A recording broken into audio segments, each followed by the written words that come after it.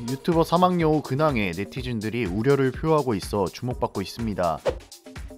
사망여우는 여우 가면을 쓰고 비양심 기업을 폭로하는 유튜버입니다. 주로 허위, 과장 광고 등으로 소비자 권익을 침해한 의혹을 받는 기업들을 비판해 네티즌들로부터 크나큰 지지를 받고 있죠. 그러나 일부 기업과 유튜버들이 사망여우의 정체를 밝히겠다며 위협을 가하는 일이 벌어지기도 했었습니다. 2020년 말에는 사망여우에게 지목을 당한 기업의 고소로 경찰이 수사에 나섰지만 결국 사망여우를 찾지 못해 수사가 중단되기도 했었는데요. 이에 유튜버 사망여우 여우의 신분을 또 다른 가면 유튜버 어나니머스 코리아가 폭로하겠다고 나섰었죠. 당시 어나니머스는 사망여우를 향해 신상을 확보했다며 용산구사는 이응 디귿 이응 씨라고 이미 신상을 확보하고 있는 듯한 말을 하기도 했었습니다. 해당 유튜버는 잘못된 자료 혹은 제대로 된 자료를 갖고 있음에도 영상 제작을 위해 사실을 은폐하고 사기꾼이라고 저격한 기업에게 정식으로 사과하는 모습을 보여달라라며 이번 달 말까지 계정에 사과 영상을 게재하지 않을 경우 사막 사망여우가 폭로한 기업, 개인은 물론 수사기관에까지 사망여우의 신상 정보를 공개하겠다라고 엄포를 놓았었죠. 하지만 당시 사망여우의 신상이 폭로되지는 않았고 최근 지난달 31일 온라인 커뮤니티 루리웹에는 사망여우 멤버십 설명이라는 글이 올라와 주목받고 있습니다. 해당 글에는 사망여우가 유튜브 멤버십에 올린 설명 글이 담겼습니다. 사망여우 멤버십 글에는 소송 지원이라는 제목과 사망여우 채널은 항상 강한 공격과 압박을 받고 있다.